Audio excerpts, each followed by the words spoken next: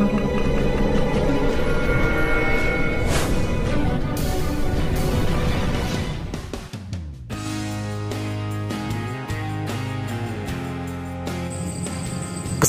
timnas Indonesia sudah habis. Timnas Indonesia mundur dari AFF.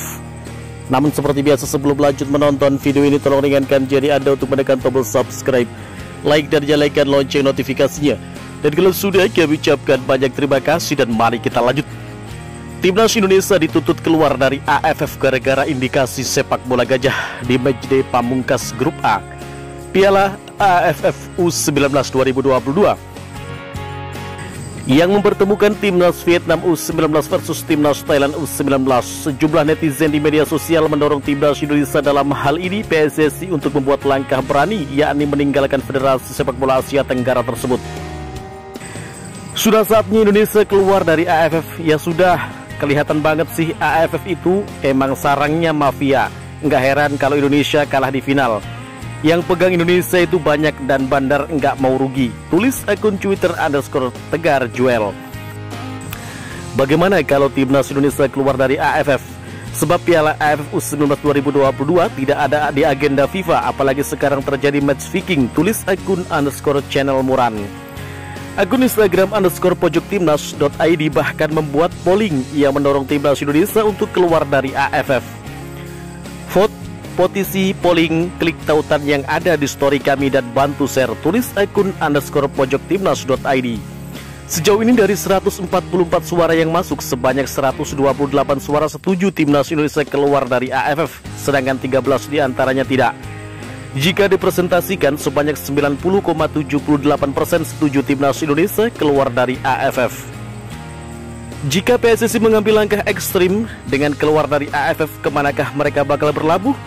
Oseania dapat dijadikan opsi secara geografis Indonesia masih berdekatan dengan tim-tim Oseania.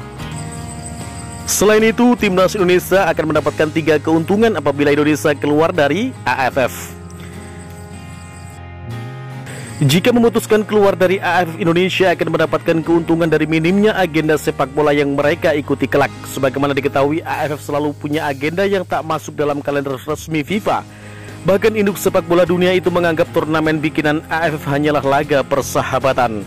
Dengan kata lain, jika Indonesia keluar dari AFF, maka timnas Indonesia tak perlu repot-repot menyiapkan skuad demi mengikuti ajang-ajang AFF seperti Piala AFF yang biasa digelar di akhir tahun. Selain itu, timnas Indonesia bisa saja punya waktu berlebih untuk menyiapkan diri untuk ajang resmi dan menghindarkan para pemain dari badai cedera akibat turnamen yang diselenggarakan AFF. Contohnya adalah Marcelo Ferdinand yang harus cedera di Piala AFF U19 2022. Padahal dalam waktu dekat, Timnas Indonesia U19 akan bertanding di kualifikasi Piala Asia U20 yang merupakan ajang resmi di bawah naungan AFG. Dua, fokus ke Asia. Jika keluar dari AFF, Timnas Indonesia otomatis hanya akan tercatat sebagai negara yang ada di bawah keanggotaan AFG. Hal ini membuat Timnas Indonesia bisa fokus dalam melakoni turnamen resmi di bawah AFG yang juga resmi di mata FIFA. Bertanding di ajang buatan AFC otomatis akan menjadi suntikan tambahan bagi timnas Indonesia yang ingin menambah kualitas dan pengalaman. Tiga, bisa bertanding melawan tim tangguh Asia. Dengan keluar dari AFF, timnas Indonesia bisa fokus ke kancah AFC atau Asia dan berkesempatan menghadapi tim-tim kuat dari benua kuning lainnya. Selama ini timnas Indonesia lebih kerap bertemu negara-negara AFF atau kawasan Asia Tenggara saja, sehingga level permainan tim merah putih tak mengalami perubahan signifikan. Alhasil, jika keluar dari AFF, timnas Indonesia pun bisa dipaksa mencari lawan-lawan di luar Asia Tenggara dan berpotensi menghadapi tim-tim kuat dari Asia dan Eropa. Bagi, jadi bagaimana menurut kalian? Apakah kalian setuju jika Indonesia keluar dari AFF? Tulis di kolom komentar, like, dan salam olahraga.